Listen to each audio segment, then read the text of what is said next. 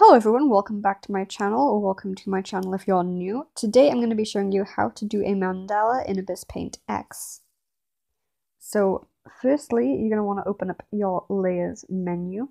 I'm going to delete these layers here.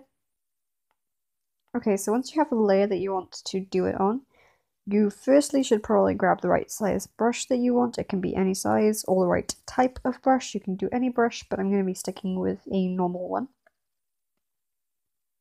And then choose your color.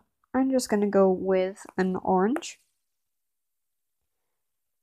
So while you could draw them in this sort of way, it is much easier and has a much better effect if you go up to this menu and click here. There are several different rulers, but the ruler that you're going to want is this one right here, the rotation ruler. So click on the rotation ruler and this will come up. Use the little plus thing down by here to drag it around. Get it to somewhere that you want it choose the amount of sides that you want to have. I'm only going to give it 7. And then you don't have to zoom in, but I will be. You can draw here, and you'll see that it makes the same one every single one. So with this, you just need to experiment until you get something that you like. I like making it swirly.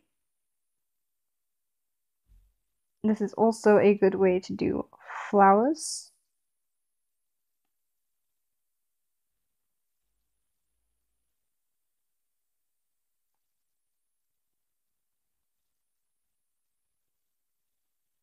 Honestly, just keep going until you have something that you like. This is messy, of course, because this is just a tutorial.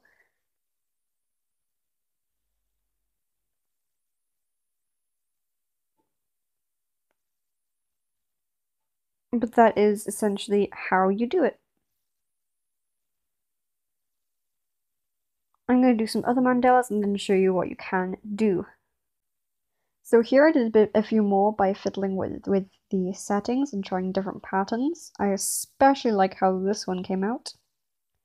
And I recommend just having a mess around with it and seeing what you like the most, changing your brush size, colouring it in, do whatever you want.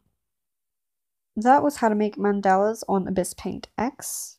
I hope that you enjoyed the video. If you did, maybe consider leaving a like, commenting, or subscribing.